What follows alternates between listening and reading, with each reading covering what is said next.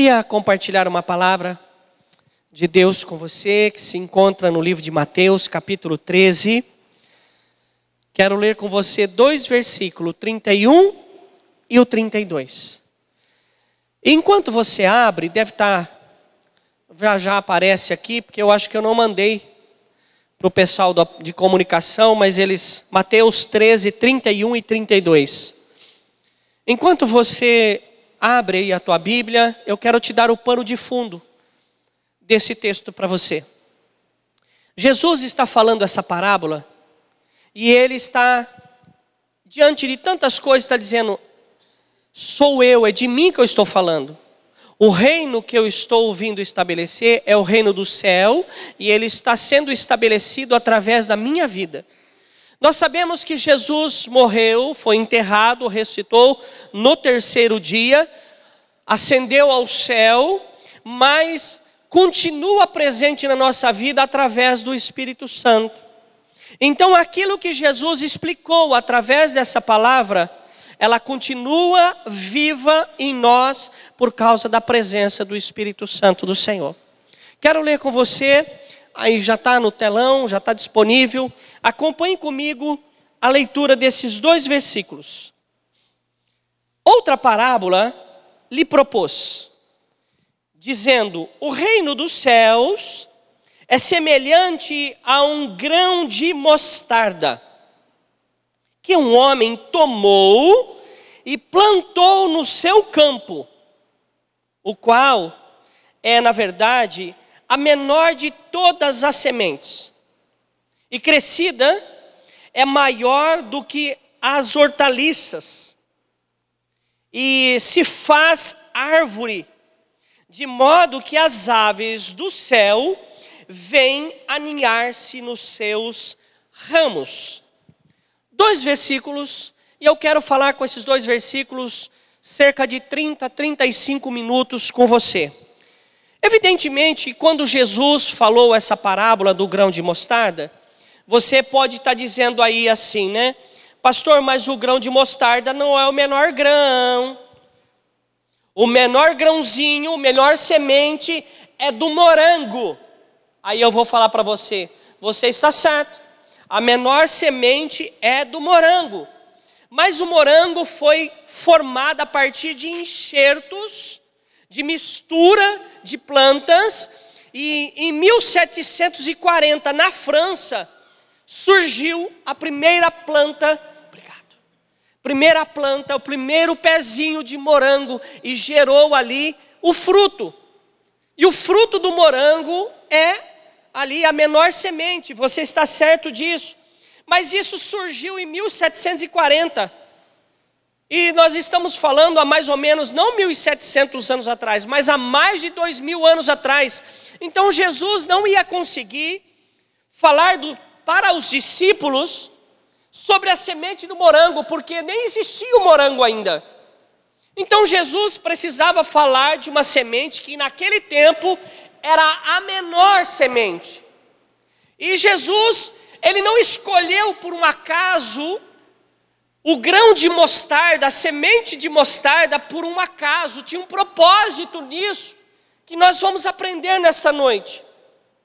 E a parábola é uma forma de Jesus, de Deus, nos explicar de forma natural como funciona no espiritual. Se Deus vier falar com a gente como é no céu, a gente vai falar assim: eu não posso entender o que o Senhor está explicando. Eu nunca estive no céu. Para a gente entender algumas coisas de Deus, Deus então pega as coisas que a gente conhece e explica para mim e para você daquela forma que a gente conhece e a gente consegue entender como é que isso funciona no reino espiritual. Fica mais fácil, né? E a semente de mostarda é a menor da semente. Ela mede mais ou menos de 1 milímetro a 2 milímetros. Ela parece uma cabecinha de alfinete, bem pequenininha.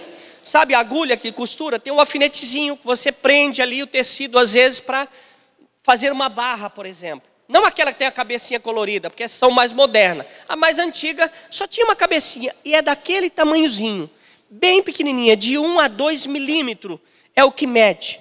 E por ela ser uma semente pequena, você deve perguntar assim: mas que tamanho pode crescer uma semente de mostarda? Ela pode crescer até 4 metros de altura, uma semente do tamanho de um, uma cabecinha de alfinete. Então você já começa a imaginar o tamanho de uma planta que tem dentro de uma semente tão pequena. E você pode imaginar também o poder e a autoridade que tem dentro de nós, mesmo que nós olhando, do, olhando para o espelho, nos enxergue tão pequeno em relação a Deus, mas se nós deixarmos fluir Deus dentro de nós, nós seremos irreconhecível. Por isso que Moisés, quando desceu do monte, depois de receber as tábuas, depois de falar com Deus, depois de Deus falar com ele na sarça ardente, as pessoas olhavam para ele e não podiam encarar, ele tinha que colocar um lenço, porque o brilho, a glória do Senhor era tão grande que aqueles que estavam ali não podiam nem olhar para ele. Então, há algo muito grande que Deus quer que venha manifestar através da nossa vida com a presença do Espírito Santo que já está em nós. Amém? O interessante disso é que a mostarda, diferente de outras hortaliças, se você plantar um pé de alface, hortaliça, quantas vezes aquela semente plantada vai frutificar, no caso do alface? Você pode colher quanto? Geralmente se corta o pé todo de alface. Raramente você vai lá, a não sei que seja na tua casa, num vaso, você vai lá e vai tirando folha por folha. Você corta o pé. Então a produção de uma semente, no caso o alface, ela produz uma única vez e deixa de existir. A mostarda não é assim. Ela produz cinco vezes por ano e não tem tempo para parar. Se for cuidada, continua frutificando cinco. Quer dizer que cada, cada 30 a 70 dias, de 40 a 70 dias, ela tem uma produção nova. Então eu e você podemos produzir muito, muito mesmo.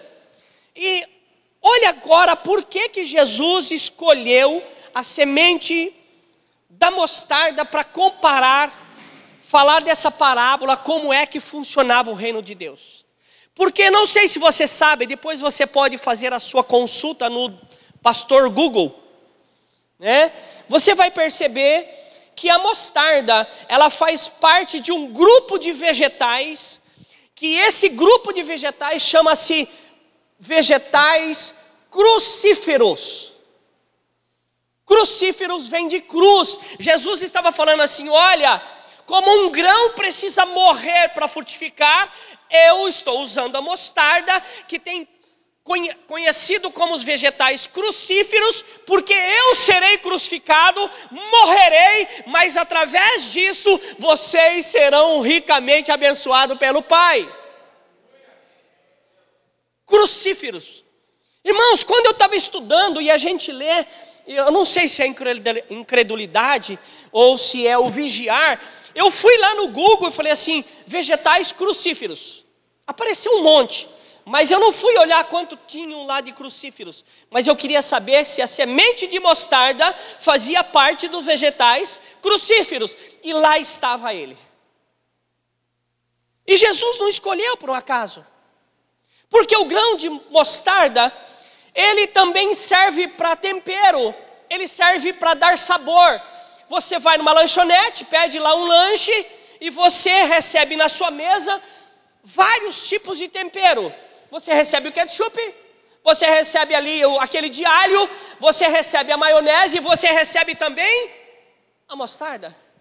Ele dá sabor.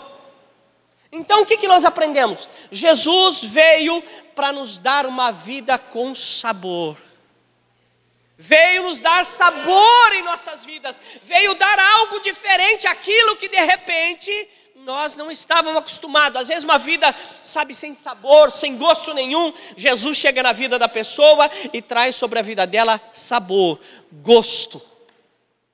Pastor, para que mais serve?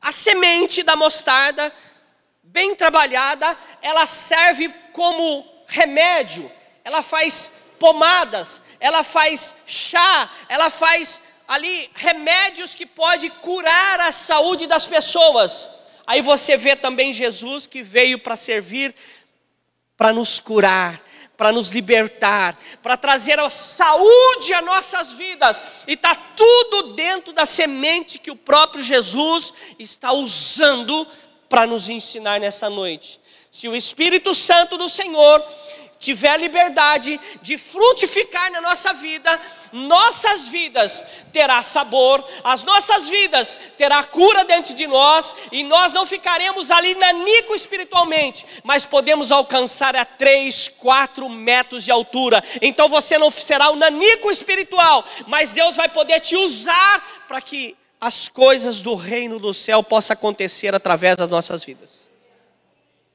Tudo isso está numa semente. E quando Jesus fala assim, o reino de Deus será semelhante ao grão de mostarda. Eu, por muitas vezes, deixa eu te dizer, muitas vezes lendo o texto, eu interpretava de maneira errada. Eu sempre dizia, e você também já deve ter dito assim: o reino de Deus é igual o grão de mostarda. Pequeno? Não, ele não é igual ao grão de mostarda. Ele é semelhante. É algo que serve como exemplo, mas não é como o grão de mostarda. O grão de mostarda precisa da terra para germinar. O reino de Deus precisa da terra para germinar, mas não aquela terra, essa terra aqui. Você é terra fértil e Deus vai germinar e vai frutificar. E através da tua vida vai ter sabor, e através da tua vida vai ter cura, milagres, libertação e tudo mais através de você. Terra boa. Irmãos, eu comecei a olhar e falei assim: Jesus, tudo numa sementinha, dois versículos tem tudo isso aí dentro. É que às vezes a gente olha e, e como a gente não entendeu, a gente passa para o próximo.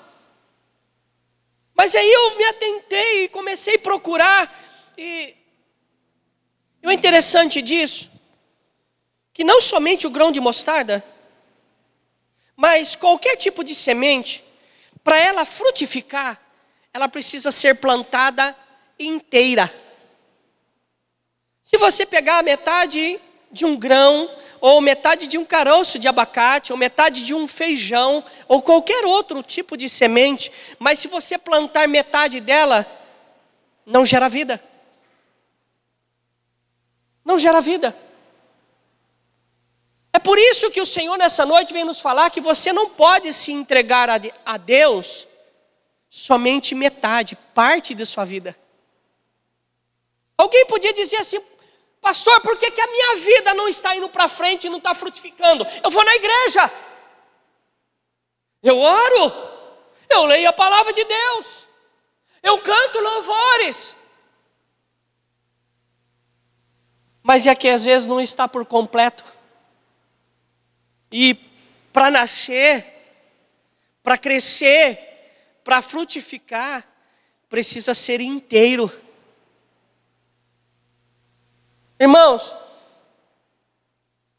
às vezes nós queremos resultados de Deus, bênçãos de Deus nas nossas vidas, mas a nossa entrega a Ele não foi completa.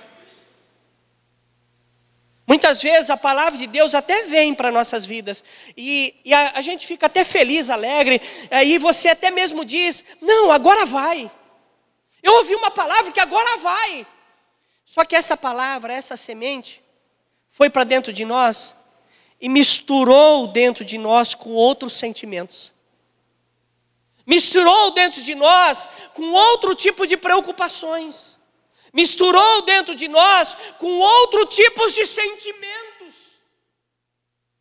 E aí nós entendemos por que, que aquela semente que o homem saiu a semear, parte caiu no beiro do caminho não tinha terra suficiente, os pássaros vieram e comeram. E os pássaros, se você olhar na Bíblia, ele não é algo bom, ele tem relação com o inimigo, ele tem relação com os demônios, ele tem relações com o diabo, os pássaros. Aves dos céus. Se você olhar para que quando Davi foi ali batalhar contra Golias, o próprio Davi falou assim: Hoje mesmo, o Senhor vai me entregar na minha mão a tua cabeça e o teu corpo será comida para as aves dos céus. Essas aves dos céus significa maligno, significa o mal. Mas eu estou voltando na semente. A semente teve uma que a mesma semente que caiu na terra boa e frutificou, esse mesma semente caiu em um terreno que tinha espinho. Então aquela semente, aquela palavra que foi liberada, misturou com os sentimentos da pessoa que já estava dentro dela, que era espinhosa. Outra semente, outra palavra que você ouviu e de repente falou assim: agora vai, agora vai acontecer, agora eu vou romper. Mas caiu em meio a pedras, criou até raiz, mas morreu. Essas pedras podem ser sentimentos nossos que têm endurecido o nosso coração e não têm permitido que aquilo que nós recebemos de Deus pudesse frutificar. Então, além da semente que a palavra de Deus entrar por inteiro na nossa vida, nós precisamos permitir que aquele terreno, esta terra, recebendo o reino de Deus, para poder frutificar, precisa estar, sabe, com espaço livre dos sentimentos do homem, dos desejos do homem, e sim a vontade de Deus. Nós fomos comprados pelo sangue de Cristo. Então não é eu que vive mais em mim, mas Cristo é que vive em mim. Por isso que em alguns momentos da nossa vida fala assim: ah, eu jejuo, eu vou na igreja, eu leio a palavra, eu recebo oração, eu oro, eu faço tantas coisas. Por que, que não está acontecendo? Porque essa semente, tudo isso que você está fazendo, que é bom, está misturando com coisas que não deveria ser misturado. Algo que é saudável está sendo misturado com algo que faz mal, aí estraga. Eu não sei se você conhece uma passagem da Bíblia que um homem estava preparando um perfume. Uma vasilha de perfume, vou dar um, um exemplo. Ele estava com um balde de perfume, estava ali na sua bancada, local de trabalho, e fazendo as misturas com todo cuidado, e de repente ali, uma mosquinha, uma mosquinha, caiu no perfume. A palavra de Deus nos ensina que aquele perfume teve que ser jogado fora porque ele estragou. A mosquinha estava contaminada. E Deus está trabalhando na nossa vida todos os dias. Como nessa noite, Deus está trabalhando no seu coração, para que você seja um perfume que chame a atenção de Deus para a tua vida, mas às vezes alguma mosquinha, seja por palavras, seja por sentimento, está entrando pelo teu ouvido e achando lugar no coração, e aquele perfume que seria agradável a Deus se estragou. Precisa ser jogado fora e começar de novo. A palavra de Deus está nos ensinando que a pessoa, ela foi atrás, ela foi em busca da semente, você veio atrás, você veio em busca da palavra de Deus, e esta palavra nesta noite está semeando no seu campo, na terra, que é a tua vida, a tua mente, o teu coração, com o intuito de você sair daqui, sabe, com o desejo, falar, não, agora vai, as coisas, mas você vai ver em volta de você sentimentos, pessoas te cutucando, querendo matar, irmãos, quer ver uma coisa que eu vou falar para você? Eu morava no sítio, lá em Reginópolis. E um dia eu vi uma cobra engolindo um sapo. E você sabe que às vezes engolir sapo não dá, né, gente? Mas para cobra é o prato predileto. E ela estava ali, sabe? Eu sei que a cobra, ela, sei lá, noca, quebra, faz alguma coisa com o queixo dela que ela consegue abrir a boca de uma maneira que ela não, não abre normalmente. Tem que se conjuntar, sei lá a palavra certa. Não sou da área também, né? Mas acredito que você entendeu. Aí eu vi aquela cobra assim, já estava só as patinhas do sapo do lado de fora. Ah, Eu falei assim: esse bicho é forgado, né? E comecei a cutucar, jogar pedra na cobra. E ela ficou tão nervosa que ela usou os dentes dela, que não era para ser usado, ela usou o dente e ela injetou veneno no sapo que ela estava engolindo.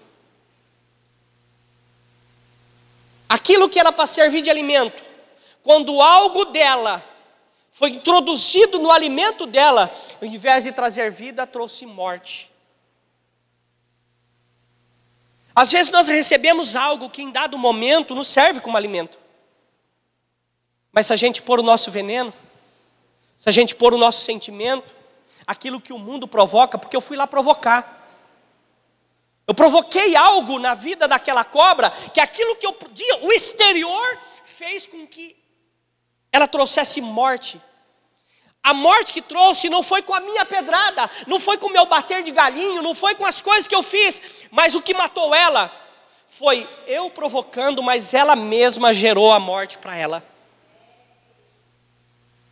Nós devemos tomar cuidado, porque nós, às vezes, podemos culpar. A cobra podia falar assim: Eu estou morrendo, é por causa de você, Osmir. Não, quem matou ela foi aquilo que ela tinha dentro dela mesmo, era dela, a natureza dela. E a gente tem que tomar cuidado com a nossa natureza.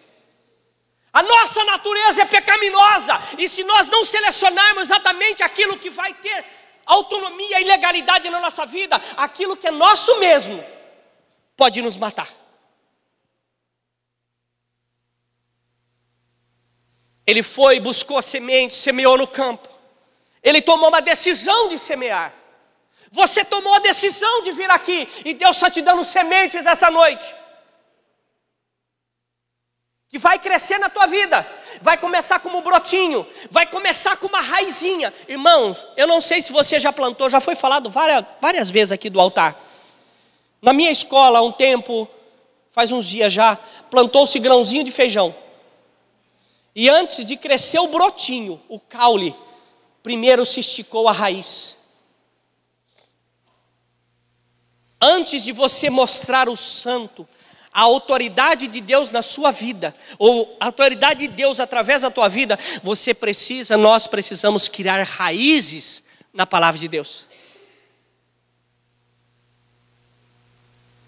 O campo, se você ler aqui em Mateus, onde nós lemos, ele fala que fala sobre o campo. O campo é a humanidade. O campo é eu e você, depois de mais de dois mil anos, seja, sendo alcançado pela palavra de Deus nessa noite.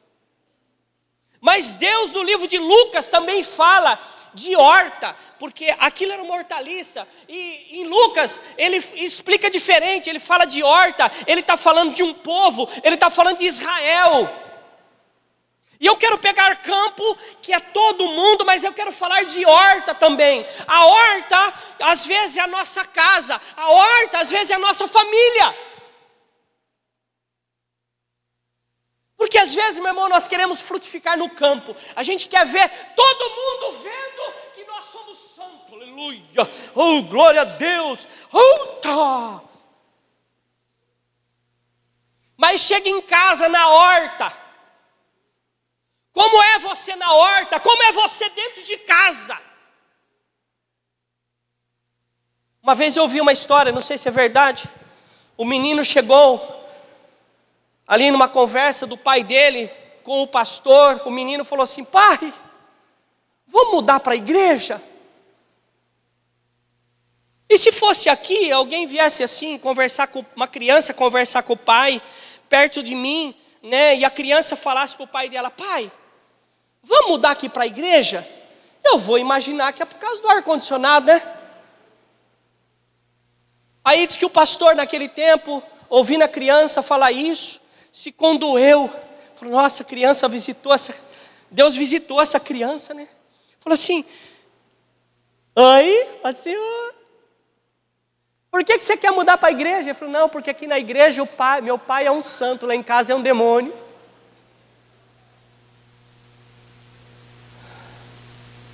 É o camaleão. Está na igreja.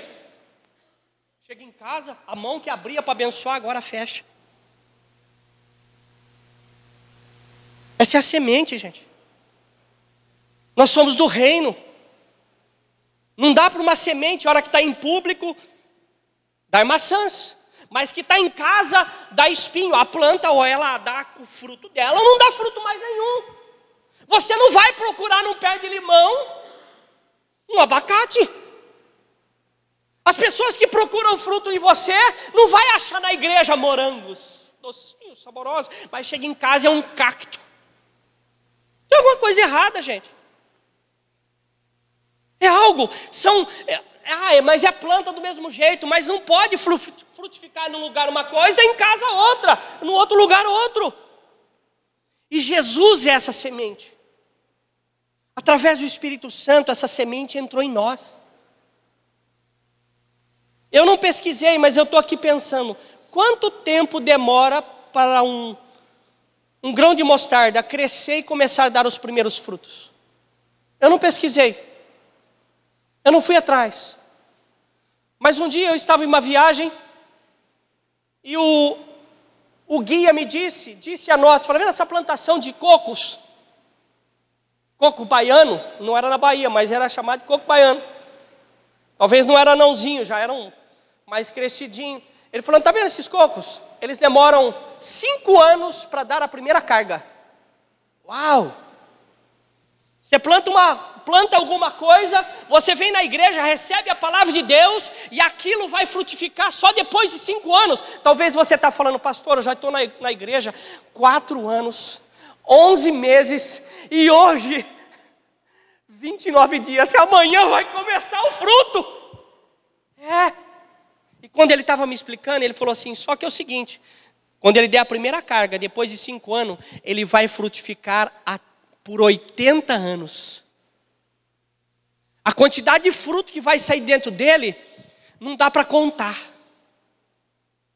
Irmãos, a oliveira que Jesus, talvez um dia estava embaixo dela, explicando para os discípulos como é ser um servo de Deus, tem mais de dois mil anos.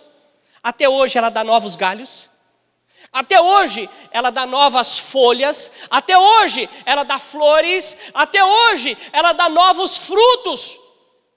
Então não é uma questão de idade, é uma questão de permitir. Talvez você está na igreja, ai pastor, eu não frutifiquei, mas você vai frutificar, a tua casa, a tua família vão ser alcançados por Deus e vai ser arrebanhado e nós nos encontraremos no céu. Mas você precisa ser perseverante, não é porque não aconteceu hoje que não vai acontecer. Deus está trabalhando.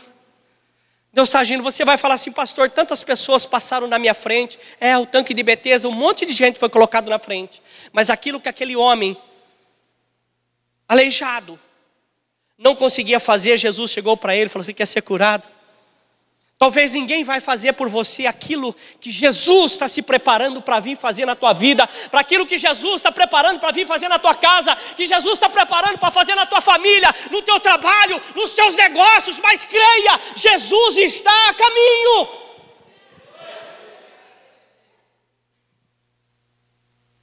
Jesus também, quando nasceu de mulher, ele se tornou e lavou os pés dos discípulos, ele tornou o menor no reino de Deus.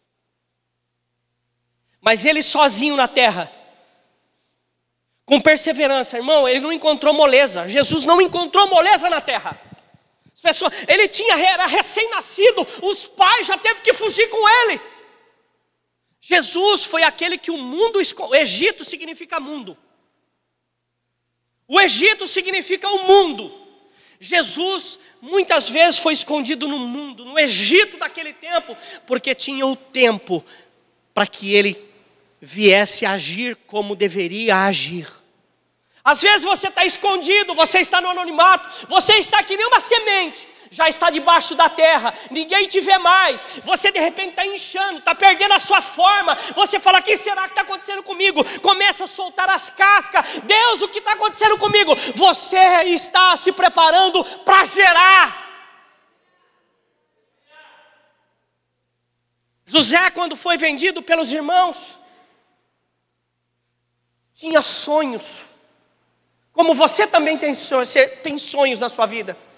Talvez você entrou aqui nessa noite falando para você mesmo: Deus, realiza o meu sonho, Pai. Eu tenho tanto desejo na minha vida e as coisas não estão acontecendo. E Deus olha para você e fala assim: É, eu sei que você tem sonho. José também tinha.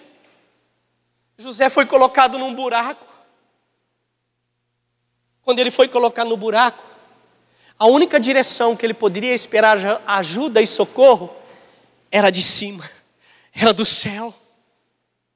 Talvez Deus esteja falando comigo e com você. Você está muito dependente do homem. Quando era tempo e momento de você ser um dependente de Deus. Ele sumiu. Sabe, José teve que deixar o pai. José deixou os irmãos.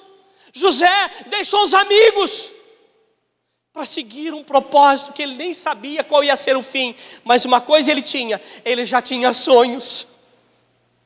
E talvez os sonhos que você está tendo, não está tendo o mesmo caminhar, a mesma direção que você imaginava ter. Ei, de repente você pode ser colocado numa prisão, num calabouço, encarcerado. Os seus amigos copeiros podem até esquecer de você, os amigos esquecerem de você, mas no tempo, no tempo certo, Deus vai te honrar e vai te colocar no lugar onde o nome dele será conhecido. Aonde o nome dele será exaltado, aonde você não vai poder fazer outra, falar outra coisa, é Deus, é Deus fazendo, eu não acredito, eu já lutei tanto com isso, eu já fiz tanto, mas agora começou a acontecer, e você vai falar, só pode ser Deus, é Deus, é Deus, é Deus, é Deus. Porque Deus não divide a glória dele com ninguém. A semente tem que morrer. Se Jesus não tivesse morrido por mim, por você, o Espírito Santo não viria. E se o Espírito Santo não viesse, esta terra não teria a semente dentro de nós, que é o Espírito Santo, que está querendo frutificar na nossa vida. Jesus estava no meio do povo, como o pastor Paulo pregou na, na sexta-feira, mas hoje, ele está dentro no meio de nós, dentro de nós, e está procurando espaço para frutificar. Às vezes está ali, meu irmão. Eu não sei se você já viu, sabe? Outro dia eu estava passando pelo viaduto ali e eu vi que nasceu uma figueira no buraco, na greta do viaduto, cimento para tudo quanto é lado. Ela encontrou um pouquinho de terra e lá ela nasceu. Ela não tinha todo o que ela precisava para nascer, mas foi dada uma oportunidade e ela começa a nascer. Então, se está te dando oportunidade, começa a nascer, começa a frutificar. Vai te colocar uma pessoa e de repente você está esperando uma multidão para pregar. Comece com uma que é o primeiro fruto. E desse fruto, mais, mais, mais, mais vai acontecer na sua vida, mais vai acontecer na tua casa, mais vai acontecer na tua família. E nós lemos na palavra que as aves vieram se aninhar, vieram repousar, vieram ali e pousaram em cima da mostarda, do pé de mostarda. Aí você vai falar assim, pastor, o senhor acabou de falar recentemente que as aves dos céus, as aves têm significado maligno, é um mal. É. Jesus não veio para os sãos, ele veio para os doentes. E quando aqueles que eram usados pelo mal, quando ele chegar perto de você e olhar do teu fruto, aquilo que você gerou, ele vai falar assim: Eu quero estar aqui perto, porque eu quero, porque perto de você tem oração, perto de você tem santidade, perto de quem estava naquele lugar de mostarda, tinha fruto, tinha sombra, e através disso vidas vão sendo transformadas, tocadas, por causa da presença de Deus na sua vida. As aves vieram se aninhar. Era o mal. Mas muitas pessoas que estão vivendo mal, fazendo mal, elas não estão fazendo isso simplesmente por fazer. É que muitos foram tão maltratados na vida que quando alguém oferece um abraço, a pessoa não acredita. Ela não confia. Tem gente que você vai falar assim: Oi, rapaz, como você está? o que você quer? Por que você está dando a mão para mim? Porque fizeram tanto mal para ela que ela não confia mais em ninguém. E quando tem um gesto de amor, a pessoa fica desconfiada. Pessoas que estão precisando de Deus vão se aproximar de você. Aí, ouvindo isso que eu estou falando para você, que as pessoas que não são de Deus, que estão doentes, vão se aproximar de você, e você agora vai entender o porquê que eu vou te falar isso. Quando eu me converti, e quando eu oro, você já deve ter ouvido essa frase aí fora. Ah, só foi me converter. E parece que quando eu oro, mais assombração aparece. Quando eu me converti, eu achei que ia estar tá tudo bem, mas e de repente as coisas começaram, a, sabe, veio gente, pessoas ruins, que maldosas.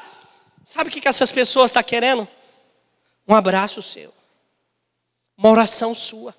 A palavra de Deus nos ensina que nós devemos orar pelas pessoas que nos perseguem. Orar pelas pessoas que nos perseguem. Quem vai mudar a pessoa é o Espírito Santo. É Deus que muda a pessoa, transforma a pessoa. Nós somos só canal de Deus.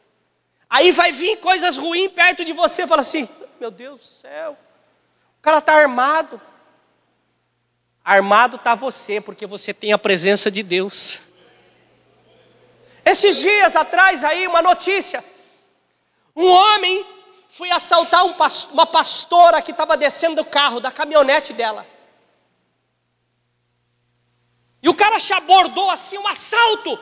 Ela simplesmente falou assim: sangue de Jesus. O assaltante caiu morto. Pode procurar na internet.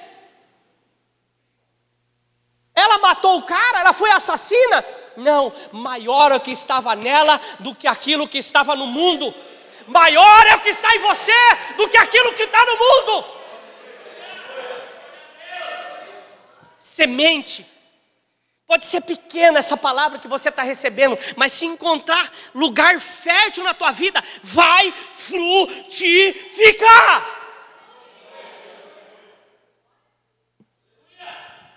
A terra é eu e você.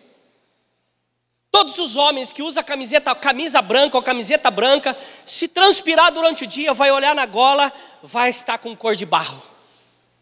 Meu travesseiro em casa ele parece um mapa assim. Eu gosto de dormir com aquele cheiro de terra. Me lembra de onde eu vim, me lembra da origem. Minha esposa não gosta, não. Ela quer trocar. Irmãos, eu estou que nem criança, sabe aquelas crianças que enfiam a fraldinha no nariz assim? Um dia nós fomos comprar travesseiro. A esposa falou assim: vamos comprar travesseiro, o seu está velho. Está velho, né? Está tá tudo borrado. É, vamos comprar. Chegou em casa, coloquei o outro, doeu a cabeça, doeu a nuca, doeu as costas, doeu as pernas. falei, ó, o veinho! E fui pro veinho de novo. Mas devagarzinho ela está tirando de mim. Eu sinto-me desmamado do travesseirinho. Mas o que eu estou querendo dizer para você é que nós fomos feitos da terra, essa é a terra. A partir de nós que vai ser frutificado. Nós somos a terra e o Espírito Santo, Deus, essa palavra é aquilo que vai fazer com que a semente que está em você possa começar a crescer. E daqui a pouco vai mostrar pontinha, daqui a pouco vai mostrar os galhos, daqui a pouco você vai ver fruto e vai falar assim: glória a Deus.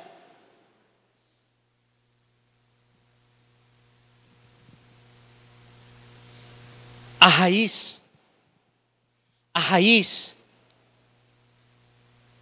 é o que sustenta a árvore.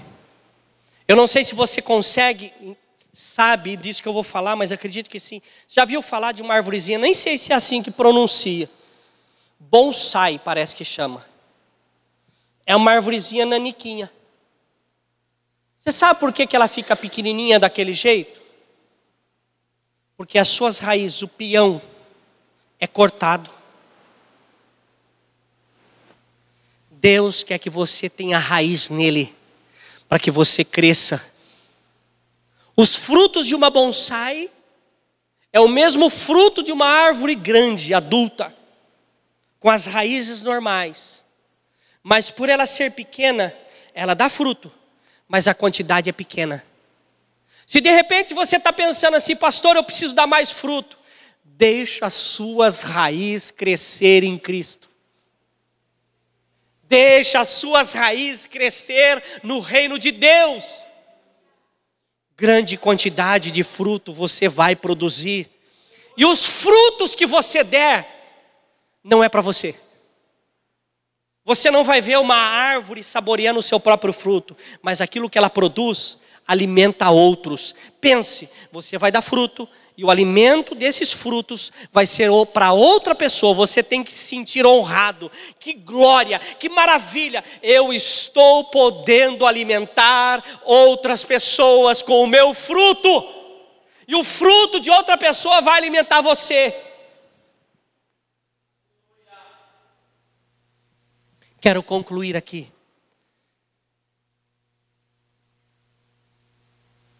Deus confia em nós. Deus confia em você. Quando Jesus veio e morreu como semente, um homem só conseguiu alcançar, alimentar o mundo todo com a palavra de Deus, com o reino de Deus. Deus confiou em nós. No começo da missão de Jesus, nem os seus próprios discípulos confiavam nele. A sua família não confiava nele. As pessoas que o conheciam falaram: esse é filho do carpinteiro, pode vir alguma coisa boa de Nazaré? Alguém também pode dizer: pode vir alguma coisa boa e vai falar o teu nome. Você talvez esteja vivendo um tempo, um momento que ninguém confia em você. Mas Deus já está dentro de você. No tempo certo, as pessoas vão saber que você tem Deus na sua vida e que vai frutificar. E ela vai falar: Eu quero esse Deus, eu quero esse Senhor. As pessoas, sabe, os, os sábios da época saíam de noite escondido, Nicodemos. Jesus, preciso falar contigo. Esses milagres que você faz só pode ser de Deus. Por que você está falando baixinho? Porque senão o pessoal aí de fora vai, vai falar de mim. Eu acredito no Senhor. Talvez você está vivendo uma vida ainda que não, você não conseguiu se manifestar na sua casa, você ainda não conseguiu se manifestar na tua família, mas ei, Deus vai, a tua família vai descobrir o Deus que já está em você.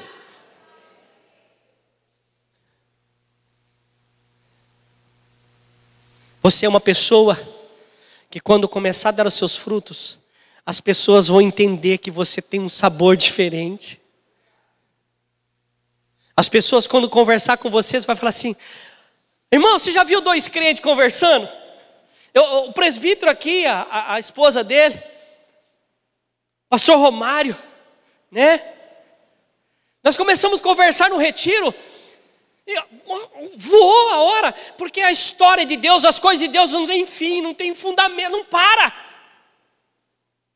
É uma delícia você falar de Deus, porque parece que Ele vai enchendo. A hora que você põe para fora, Ele põe para dentro. Você põe para fora, Ele põe para dentro. A hora que você começar a colocar as coisas de Deus para fora, Deus vai pôr palavra dentro de você. Aí você põe para fora, Deus vai colocar a palavra dentro de você. E aquilo vai, as pessoas vão querer estar perto para ouvir o que você está dizendo.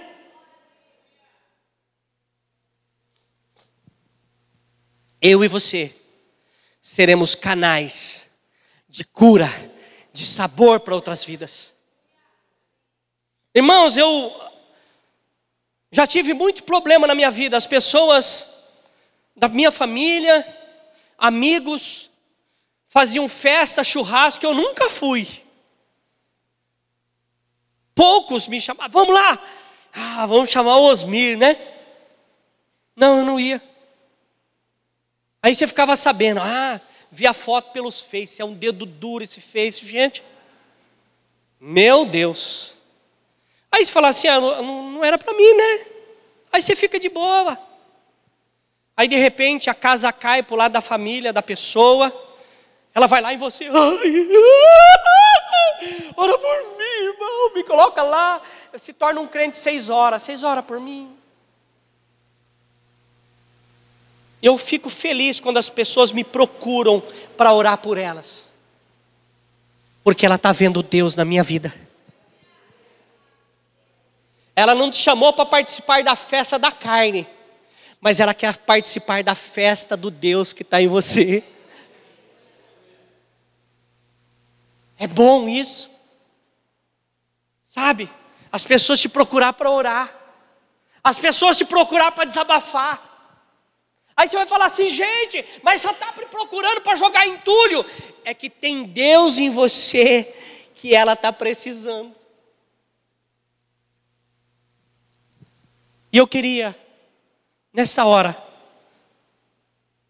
convidar você para entrar num momento de oração pelos outros. Eu queria que você ficasse de pé agora, se você puder. E que você se juntasse com uma outra pessoa que não fosse da sua família e começasse a orar um pelo outro. Nós temos dez minutos para isso, para eu encerrar o culto. Saia do teu lugar, junte com outra pessoa. Não seja da sua família, junte com outra pessoa. Junte com outra pessoa que não seja da sua família. Sabe, nós precisamos orar um pelos outros. Aí, pula para trás aí, Maico, pula para frente. Junte aí. Nós precisamos ser boca de Deus. Ó, tá muito junto aí, ó. Pode separar aí, ó. Tem marido e mulher. Pode separar aí. Separa aí, junta para cá. Isso. Lá em cima também, tá aí, tá junto, tá sem problema. Irmão, vamos orar pelos outros? Junta aqui, irmã. Ah, você é sogra, né? Vem orar comigo aqui então. Sogra não pode orar com o gerro, não. Dá problema.